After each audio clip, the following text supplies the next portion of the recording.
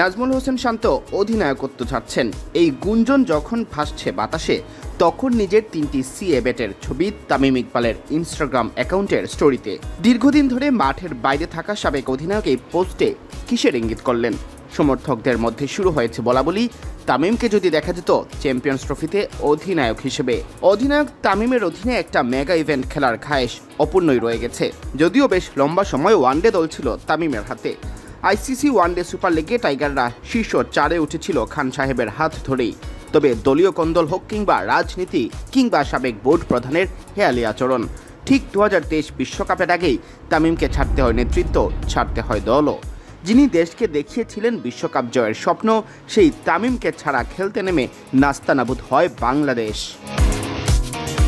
সেবার টেনে টুনে কপাল গুনে চ্যাম্পিয়ন্স ট্রফির টিকিট কাটে টাইগাররা। সামনে যখন সেই চ্যাম্পিয়ন্স ট্রফি তামিম যখন দলের বাইরে, তখন আবারও নতুন করে তার দলে অন্তর্ভুক্তির গুঞ্জন। আর এর কারণ, বর্তমানের তিন ফরম্যাটের অধিনায়ক নাজমুল হোসেন শান্তর নেতৃত্ব ছাড়তে চাওয়া। গত ফেব্রুয়ারিতে সাকিবের নেতৃত্বের ব্যাটন তুলে দেওয়া হয় শান্তর হাতে। তার অধীনে দল খেলেছে একটি টি টোয়েন্টি বিশ্বকাপও। খেলার কথা আগামী ফেব্রুয়ারিতে শুরু হতে যাওয়া চ্যাম্পিয়ন্স ট্রফিও।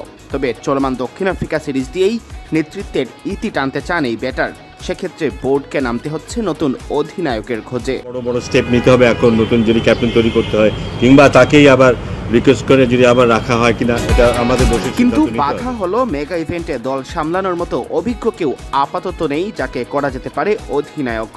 একমাত্র বিকল্প তামিম। মিরাজ এখনও অধিনায়কের তালিকায় লেখাননি নাম। লিটনকে ক্যাপ্টেন করলে উবে যায় তার ফর্মটাই। তাসকিন বা তাহিদ হৃদয় কাউকেই ওয়ানডের অধিনায়ক হিসেবে আপাতত ভাবা হচ্ছে না। সেক্ষেত্রে তামিমকে অধিনায়ক করে ফেরালে খুব অল্প সময়ে নতুন কোচের সাথে সমন্বয় করে দল গোছানোর পাশাপাশি তার নেতৃত্বে মেগা ইভেন্ট খেলার স্বপ্নটাও পূরণ হয়ে যেতে পারে। অবশ্য তামিমের এই স্টোরির অন্য ইঙ্গিত থাকতে পারে। গত মে মাসে ঢাকা প্রিমিয়ার লিগে সর্বশেষ ব্যাট হাতে নামা তামিম আসছে ডিসেম্বরে শুরু হতে যাওয়া বিপিএল এর জন্য প্রস্তুতি শুরু করেছেন। যেখানে নেতৃত্ব দেবেন ফরচুন বরিশালকে। গত আসরে যে দলকে এনে দিয়েছেন শিরোপা।